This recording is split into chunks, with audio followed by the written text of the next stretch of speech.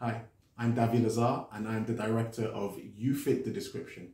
So, three words to describe my film are humanity, peace, and forgiveness.